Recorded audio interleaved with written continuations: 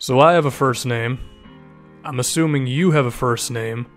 Brian Scalabrine also has a first name. It's Brian. And like Scalabrine, other NBA players have first names as well. And we're going to be going down the list alphabetically uh, by first names to see who the best players at each letter are. So, who's the best player starting with A in their first name? Who's the best player starting with B in their first name? So on and so forth. And then hopefully by the end of this, we all learned something. Not like about the English language or, you know, the fact that Anthony Davis is really good, spoiler alert, but more like, I don't know, something in life. And if you're wondering why I'm showing Brian Scalabrine, I mean, you might as well just show the best player of all time for an intro, right? Anyway, to start with A, I already gave it away Anthony Davis. He's a beast on both sides of the floor. Athletically, he's can move like a guard, but he's a power forward. His face-up game has improved. Hopefully, the New Orleans Pelicans can figure out how to start playing basketball for him. And by that, I mean everyone outside of Jrue Holiday. Because it's just not fun seeing star players on teams that are just not that good around him. But there's Anthony Davis for you. With B, it's Blake Griffin, who his athleticism has declined as he's gotten older because of the amount of injuries he's received. That being said, I'll still dunk on your head, and you can always go to YouTube and see him dunking on Timofey Mozgov, which is like the most disrespectful dunk ever. C is his teammate, Chris Paul, who is probably your grandfather's favorite point guard if your grandfather still watches the NBA. I'm pretty sure I made that joke before, but hey, you know what? It's still a decent one, or it's a terrible one, I don't know. Now, with Blake and the Clippers, are they good enough to actually contend at the top of the West? I don't know, the roster might not be uh, complete. DeMarcus Cousins' roster is nowhere near complete, as he needs to go for like 45 points as well as yelling at the referee and then being allowed to come back in the game for them to win games. But it's kind of working, and Sacramento might make the eighth seed this year, so shout out to Boogie. Now, Eric Bledsoe is an interesting player because I feel like he's never gotten the opportunity to really show how good he is. He was the backup for Chris Paul on the Clippers, and then the Phoenix Suns signed a million point guards, and now the team's really young. I would love to see him on a team surrounded by guys ready to win right now. Now, the letter F was a huge competition between Festus Ezeli and Frank the Tank Kaminsky. Festus is injured, so I think that takes him out of it. As a result, Kaminsky's here, and this is probably the only time that he's going to get on the same list as like LeBron James, but hey, you know what? Shout out to him. Now, Giannis is at G. For a split second, I gave this to Gordon Hayward, and then I realized that the second coming of. Well, the second coming of nothing, because what the hell is Giannis? There's never been anything like him in the NBA, so I look forward to the rest of his career.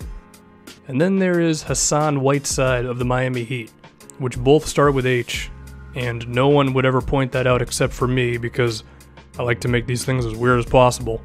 He's 27 years old and he's a super intimidating rim protector. But his team, the Miami Heat, does have a few things to figure out. One of them starts at the point guard position with Goran Dragic.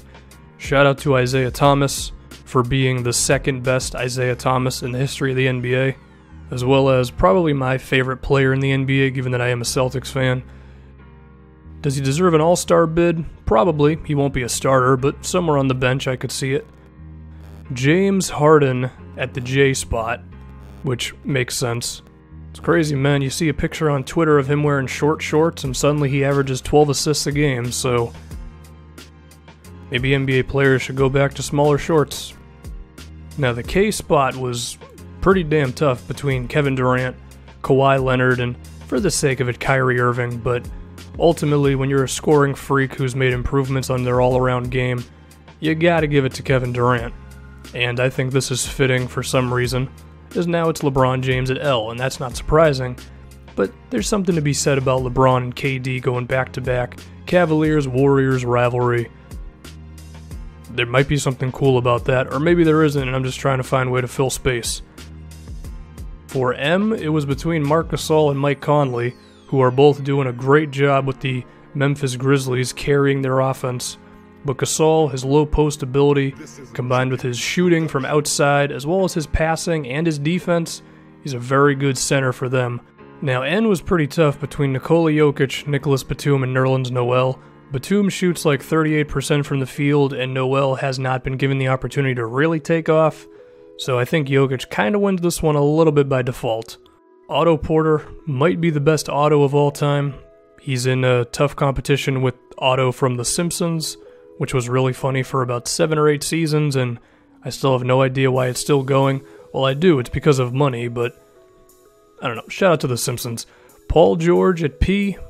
Paul Millsap gave him a run for his money, but I mean, you gotta give it with PG 13. Also, the best nickname in the NBA as well.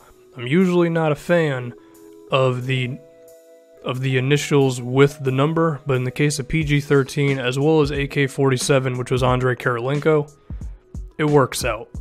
And maybe CP3, but that's about it. Like Paul Pierce was PP 34, that sucks. Like, just stop wasting your time. Now, shout out to Quincy Pondexter for kind of winning this by default because it was between him as well as Quincy Acy. And Pondexter is injured at the moment, but he has shown life as a three point shooter and he kind of saved the Pelicans a couple of seasons ago. R is triple double machine Russell Westbrook. You know, the one thing I haven't noticed this year is TV people making fun of the Westbrook's clothes. Is he wearing normal clothes now, or am I just not watching TV? To be fair, I don't watch TV because it's 2016 and what the hell, but I don't know. Someone let me know. Is he still getting made fun of for his clothes? Then we have Steph Curry. Has declined a little bit this season.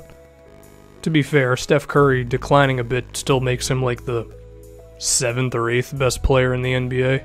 And the basketball nerd in me is happy because he says he wants to get involved in more pick and roll plays at the end of Golden State games, which they really need to do which means he's also going to have to deal with Tristan Thompson, who has shown a decent enough ability of defending him on the pick and rolls, and he is the T spot because, I mean, what he does for the Cavaliers in terms of rebounding and defense, it's all good stuff. He barely beats out Tobias Harris, and now Udonis Haslem, shout out to him for hanging around. No one's name starts with U, I had to give it to somebody.